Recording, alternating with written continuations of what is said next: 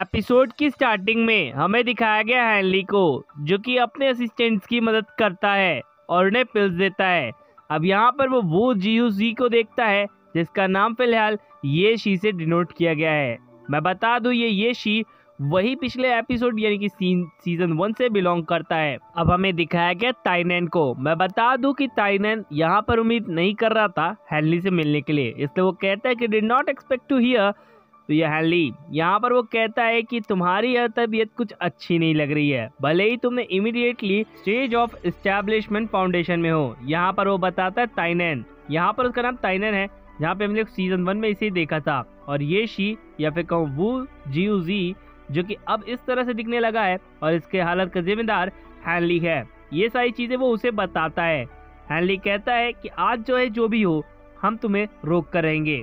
दूसरी तरफ़ हमें दिखाया गया कि ये शी को रोकने के लिए उन लोगों ने काफ़ी ज़्यादा मात्रा में क्रोकोडाइल्स को भेजा होता है, जहाँ पे ये शी फाइट करने में बिज़ी होता है उन क्रोकोडाइल से और काफ़ी अच्छी टक्कर दे रहा होता है, जिससे वो उन्हें हरा सके। यहाँ पे हमें ताइनन को दिखाया गया है, जिसके ऊपर वो अटैक करता है हैनली जहाँ पे वो ग्रीन वुडन वॉल का क्रिएट कर देता है, एक काफ़ी बड़ी दीवार, जिसकी वजह से वो बच जाता है उस स्वॉर्ड के कारण। अब यहाँ पे हैनली उस जाइंट स्वाड के थ्रू उससे फाइट करने की कोशिश करता है, लेकिन ये जो बेल होती है, काफ़ी ज़्यादा मज़बूत होती है जहाँ पर हैनली पकड़ा जाता है और वो उसके ऊपर अटैक करता है, लेकिन हैनली कैसे भी करके उस अटैक को डॉच कर लेता है। अब यहाँ पर ये अटैक काफ़ी ज़्यादा नज़दीक से होकर निकला था, क्योंकि एक तरह का ब्लेड भी है तो वो उससे काफ़ी नज़दीक तरीके से बचा था। यहाँ पर हमें हैनली के सीनियर को दिखाया गया, जो कि जोशी से फाइट कर रहा होता है और उसका हाथ हैनली ने काट दिया होता है।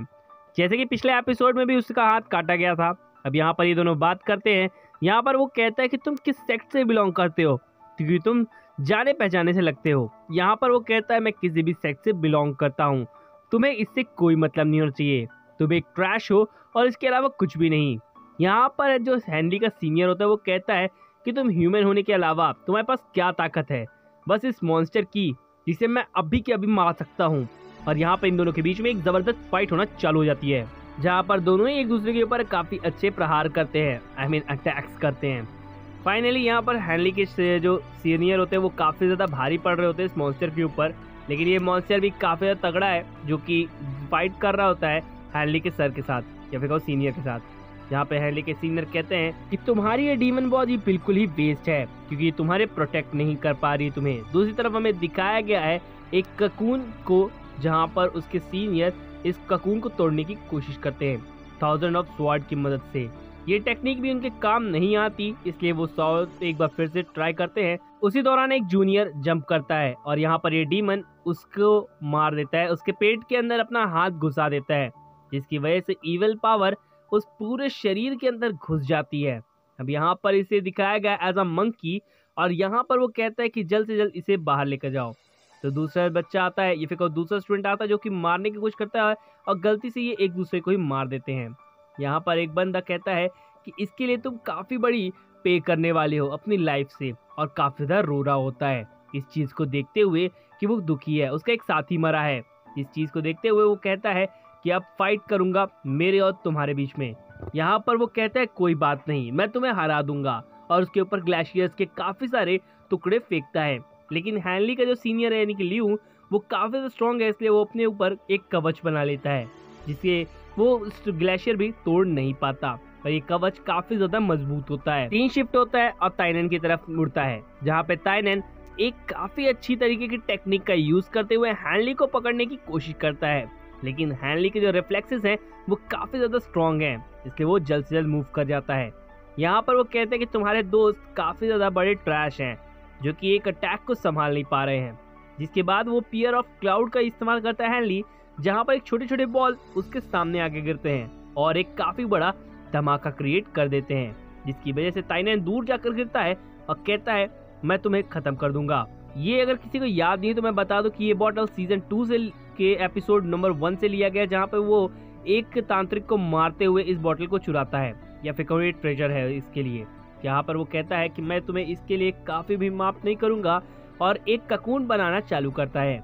इसके बाद वो उस ककून ट्रांसफॉर्मेशन के अंदर चला जाता है और कहता है कि मैं तुम्हें कहीं अपने हाथों से मारूँगा। पर हमें दिखाया जाता है उस डीमन को, ये जो कि एक ककून फॉर्म से बाहर आने के बाद भी वो कुछ भी नहीं बिगाड़ पा रहा होता है ल्यून का। जहाँ पर वो कहता है कि ये गोल्डन लाइट टेक्निक है और इसमें मैं तुम्हें हरा दूँगा। अब यहाँ पर वो काफ़ी ज़्यादा मात्रा में तालिस्मान का यूज़ करता है और वो बंदा या फिर कहो डीमन उसको अपने आप में प्रोटेक्ट करने की कोशिश करता है अपने ब्लेड्स के थ्रू, जिस पर वो कहता है, मैं फायर लाइटनिंग लाइटनिंग ईटर का टेक्निक का यूज़ करूँगा, जहाँ पर वो सामने अपने एक वॉल क्रिएट करता है और उसके ऊपर काफ़ी ज़्यादा मात्रा में एक लाइटनिंग गिराता है, या फिर कहो एक स्वाट टाइप की चीज़ होती है। ये लाइटनिंग इतनी खतरनाक होती है कि उसके ब्लेड भी उसे रोक नहीं पाते, लेकिन वो फिर भी अपने आप को प्रोटेक्ट करता है। इस पर वो कहता है, अब ये सारी चीज़ें मुझ पर छोड़ दो। अब हैनली, यहाँ पर वो सिर्फ़ इतना ही कहता है कि हैनली, अब तुम इस जानवर को संभालो। तो हैनली उसके साथ फाइट करने लगता है और वो उस टेक्निक को जगाने की कोशिश करता है, जिससे इन सभी मामले को ख़त्म किया जा सकते हैं। तो वो अपने माथे से एक बूंद निकालता है और ये एक फिनिक्स ट्रेजर होता है और ये इतना खतरनाक पावर है जिसे कोई भी बड़ा से बड़ा मॉन्स्टर मारा जा सकता है। अभी तक के पूरे स्टोरी में हैनली को ही सबसे ज़्यादा ताकतवर दिखाया गया है, लेकिन ये बंदा उससे भी ज़्यादा ताकतवर है।